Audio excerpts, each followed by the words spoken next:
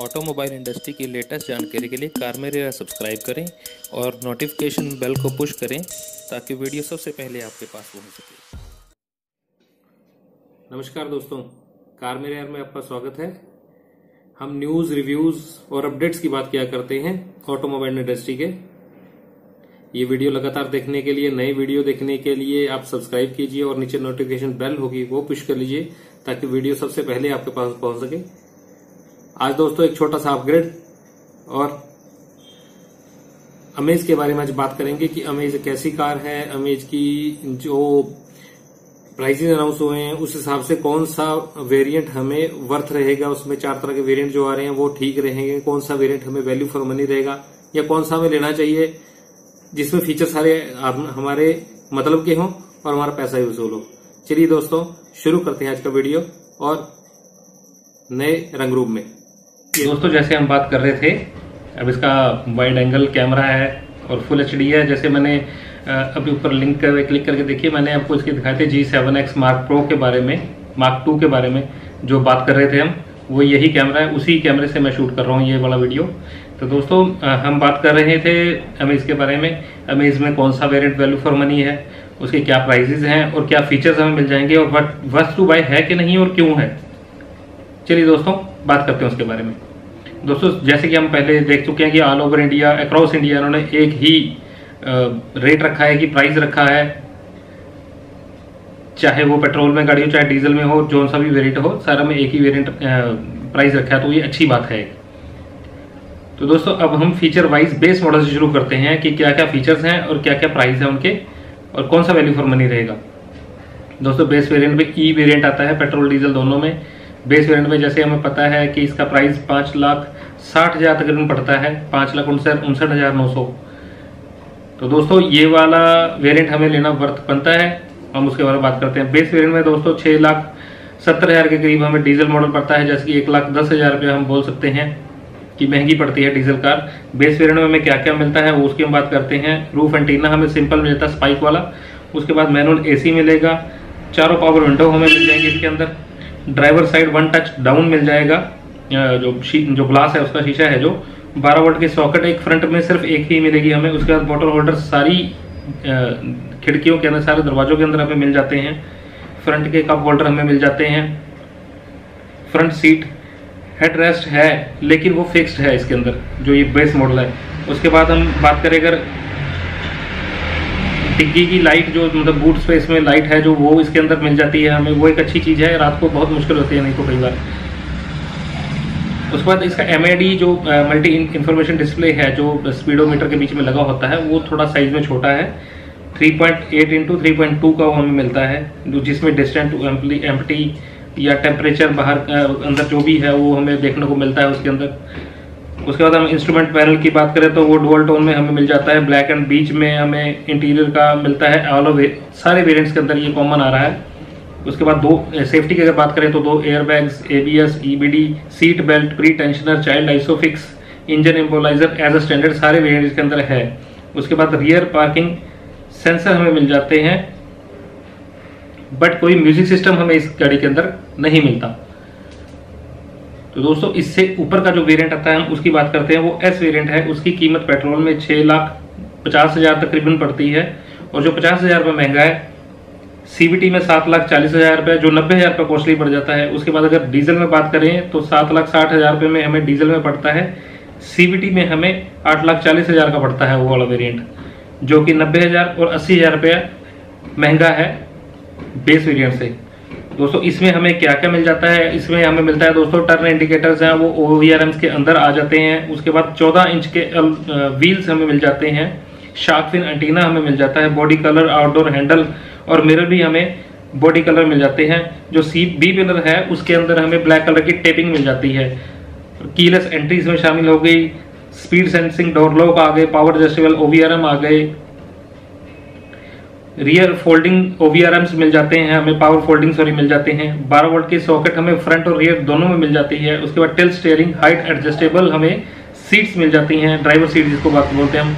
उसके बाद सीट के बैक की पॉकेट जो है ड्राइवर साइड के जो साथ वाली सीट आती है, उसके अंदर हमें बैक साइड पे पॉकेट हमें मिल जाती है।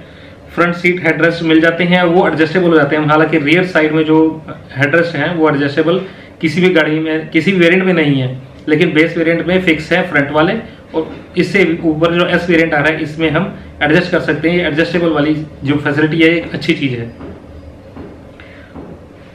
उसके बाद जो कप होल्डर है, वो साइड पैसेंजर के वैनिटी मिरर के वैनिटी मिरर मिल जाता है कप होल्डर हमें मिल जाते हैं।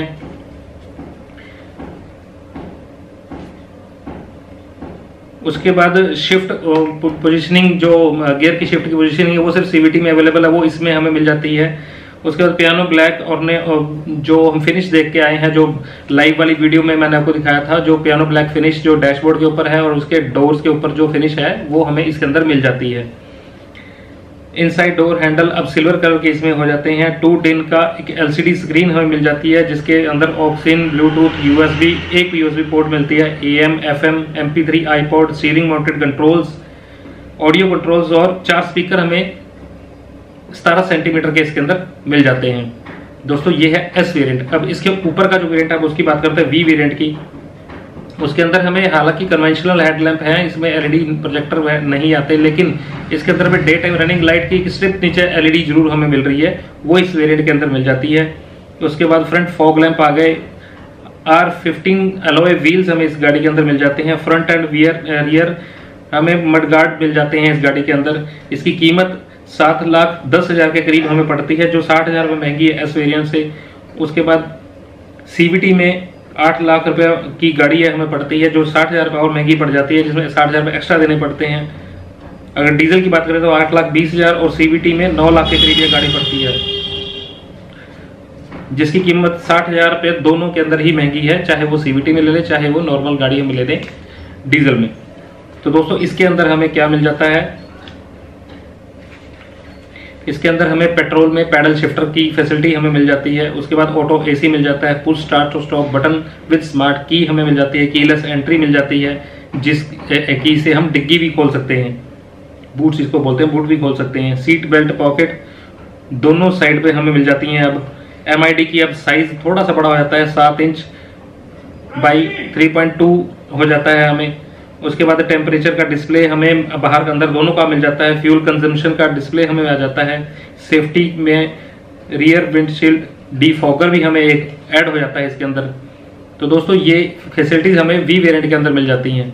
अगर हम इसके वी एक्स वेरियंट को देखें, जो टॉप वेरियंट है इसका, उसकी हम अगर बात करें तो उसमें क्या क्या नई चीज़ें और ऐड होती हैं रियर कैमरा आ जाता है और जो गाइडलाइंस के साथ कैमरा आ जाता है, वो सतारह पॉइंट सात सेंटीमीटर का infotainment system digi pad two point zero जिसको बोलते हैं इन बिल्ट इसके अंदर सैटेलाइट नेविगेशन है Android auto Apple CarPlay voice command के साथ हमें मिल जाती है। इसके अंदर दो यूएसबी पोर्ट आ जाएँगे और स्टेयरिंग माउंटेड कंट्रोल जो वॉइस कमांड के हैं, वो भी हमें इसके अंदर मिल जाते हैं। कीमत की बात करें तो सात लाख सतावन हज़ार नौ सौ रुपए की गाड़ी हमें पड़ती है पेट्रोल में। टॉप वेरिएंट में और डीजल में आठ लाख अड़सठ हज़ार रुपये की गाड़ी हमें पड़ती है, जो वी वेरिएंट के मैनुअल से अड़तालीस हज़ार रुपये महँगी है और पेट्रोल में सतावन हज़ार रुपये महँगी है। तो दोस्तों, अगर हम इन, इस गाड़ी की जो वेरिएंट्स है, उसकी बात करके देख के चल रहे हैं तो 90 परसेंट लोग क्या करते हैं कि बेस वेरिएंट से ऊपर वाली गाड़ी लेते हैं हमेशा, जिसके अंदर थोड़ी बहुत फैसिलिटीज़ हमें मिल जाती हैं।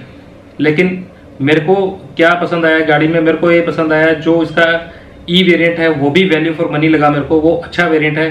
उसके अंदर तकरीबन सारी फैसिलिटी जो हमें चाहिए जो सीट बेल्ट प्री टेंशनर है चाइल्ड आइसोफिक्स है सेफ्टी को मस्ट लेके चलते हैं हम वो चीज़ें इसके अंदर मिल जाती हैं।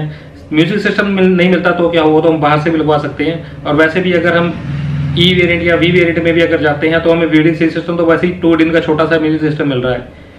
फुल टच स्क्रीन सिस्टम तो हमें टॉप वेरिएंट वी एक्स में ही जाके मिलता है। तो मेरे हिसाब से जो बेस वेरिएंट है वो भी हमें लेना वर्थ बनता है। क्योंकि इसकी जो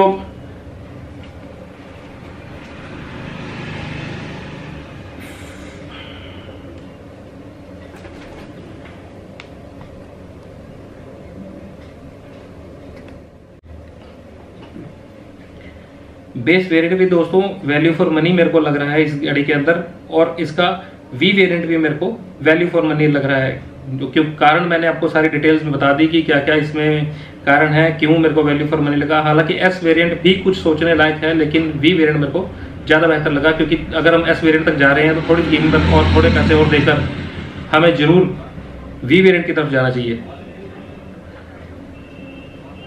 और जो वी एक्स वेरियंट है, उसके अंदर सिर्फ़ एक हमें टच स्क्रीन सिस्टम मिल रहा है एक्स्ट्रा और कुछ नहीं मिल रहा उसके अंदर। जो जो कि हम आठ से दस हज़ार की कीमत में हमें बाहर से भी हम लगवा सकते हैं, अगर हम चाहें तो। तो दोस्तों, बस आज की वीडियो में इतना ही है। बताइए वीडियो आपको कैसा लगा? वीडियो पसंद आए तो प्लीज़ लाइक ज़रूर कीजिए और सब्सक्राइब कीजिए चैनल को, ताकि नई नई वीडियोस आपके पास जल्दी जल्दी पहुँचे पहुँचा करें। जैसे वीडियो अपलोड होती है, आपके पास पहुँच। जाए नेक्स्ट वीडियो तक दोस्तों सीट बेल्ट लगा के आराम से, ध्यान से गाड़ी चलाएँ सेफ़ रहें, तंदुरुस्त रहें। नेक्स्ट वीडियो तक जय हिंद।